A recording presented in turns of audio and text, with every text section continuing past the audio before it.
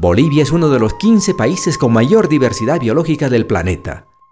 Para conservar esta riqueza, se crearon las áreas protegidas, asegurando así una visión de país con desarrollo sostenible que acoge también una amplia diversidad cultural.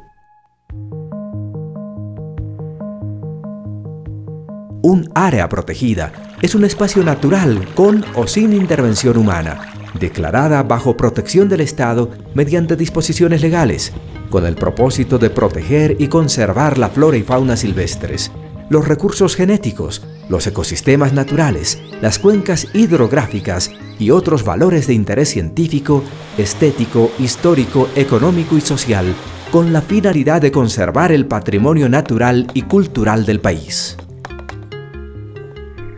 En Bolivia existen 22 áreas protegidas. Están ubicadas en distintas regiones.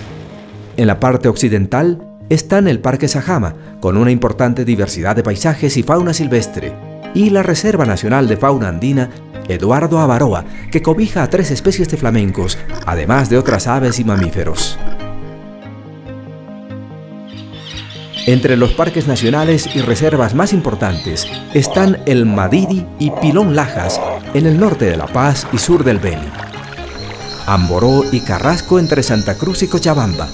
San Matías y Otuquis en la región oriental, con una multiplicidad de animales, así como ecosistemas de selva y pantanal.